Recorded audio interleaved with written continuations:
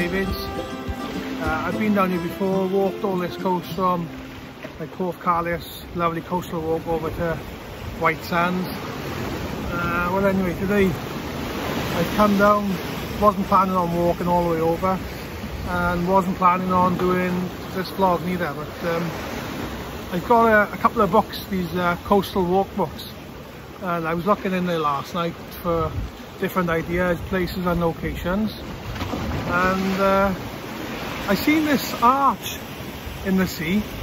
There's a big huge rock with an arch natural arch in it. Well that see not really yeah. And um, I couldn't really find out where it was. But anyway I've come on this walk today and I think it's the same one that's in this little book and I've spotted it. So we've got this lovely little arch you know, big huge rock with a uh, big piece in the middle missing so it's got an arch where you can see right through it. Um, obviously the time now is probably about, what's the time now?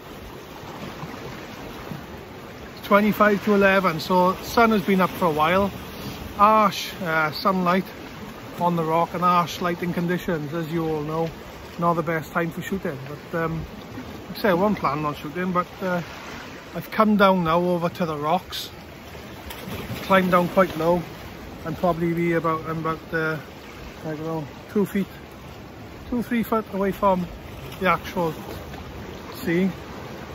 I'm not sure if it actually comes in or out from where we are, because uh, we're quite far out into, into the coast uh, on, on, all the rocks, but um, if it comes in any further I'll have to climb back up. But yeah, come, uh, come in, I've down as low as I can so we can see through the, the arch. Uh, sky-wise now is bright blue with the odd cloud or two. But um, I'm just bracketing these images now. And what I mean by that is taking a couple uh, overexposed, which is giving me about, you know, I'm going up to about four or five seconds, which is way too much. It's way overexposed. But that's giving me that little bit of movement and smoothing out the, smoothing out the sea there and then um, I'm going underexposed where I'm getting in as much detail uh, and shadows in, in, the highlights so um, let me just show you what I mean by that. Here we go. So I've got a uh, an ND filter on now. And then if you can see the little marker here that's telling me it's underexposed that's correct exposure when it's in the center. That's two and a half seconds but if you see highlights blown out so I'm underexposing for the first one. See as, see as I underexpose it brings out all the detail in the clouds. So I'm underexposing there by oh, a good few stops. That's giving me half a second. So I'll take oh, it's quite actually. Going, keep going, keep going, keep going. Yeah, fifth of a second. Um, focus wise doesn't really matter. I'm not far that far away from everything, but um, touch the centre there because obviously the rocks I want in focus. Take that shot. Okay, so as you can see, quite blue, quite a lot of detail. And then I'll slowly bring it up, and you can see then, see the histogram there that's coming more into the center that's how you want that so there's another one. Take it up again. Now that's saying correct exposure there now. See where that's bang in the middle. Histogram nice and central. Could probably bring it over a bit more. And then that's giving me an eighth of a second.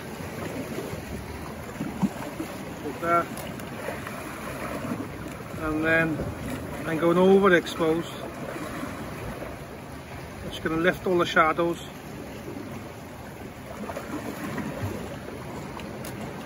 because it was two seconds I should get some smoothness in the sea there. So once you've got all these images in guys that's all you do. You select the images that you want in Lightroom and then you click on merge and then HDR image and then it'll take the best of the highlights, the shadows, the exposure, all that and put it all together. And then once it's put it all together you can just tweak it yourself and so you should have some nice smoothness in the water some detail in the sky and highlights and shadows will be correct. But uh, that's it really. Just a little short one for you I might come back in again if I pick up something else down there. Uh, I got the long 100 to 400 mil lens with me as well so I might take some shots across to uh, Ramsey's Island or possibly Skomer Island. That's only just over there. I don't know yet but um, I might just do a little bit of drone footage and uh, I'm tempted to have a dip in here as well. It's looking absolutely beautiful.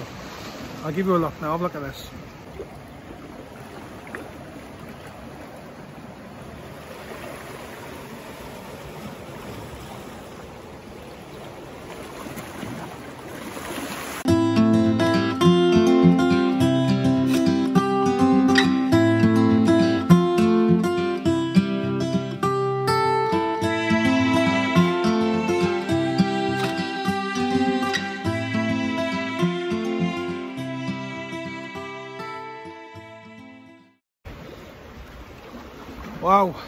lovely. Just had a little dip in there in the pool.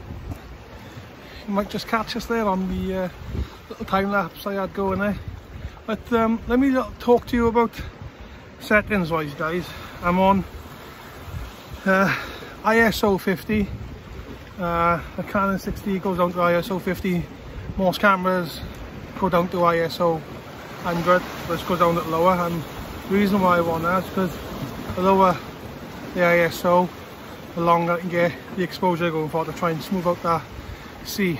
And um, I'm on f16, that's a small aperture, so imagine f16, f2.8, so f16 small aperture, and then that's going to let in not so much light. Again, the less light you got coming in onto your sensor, the longer you can have the exposure. And uh, focus wise, I was just doing autofocus here, just focusing on, on the rocks really, but you know, it wouldn't have mattered if I shot on, on manual focus and just shot to infinity or whatever.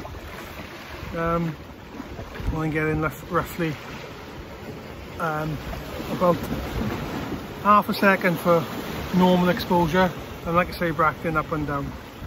So all about trial and error guys, you know, I'm not a professional photographer, uh, I don't know everything about photography, uh, I just do you know everything, most of the stuff I picked up I picked up off the internet, watching YouTube videos, uh, just practicing and practicing and practicing.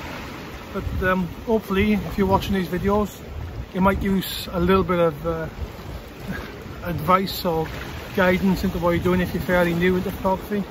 Uh, so you know it's not just photography I want to be showing you, it's just um, some of the beautiful locations around Wales but not just Wales, you know, the whole of Britain, the whole of the world.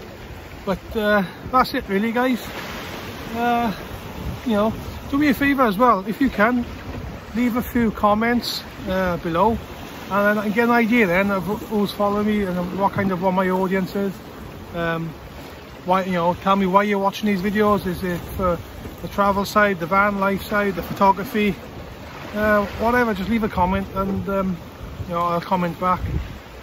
Uh, possibly follow your page as well if you're doing the same kind of thing and uh, that's going to be it for now guys. Uh, thanks for watching and until next time I'll see you again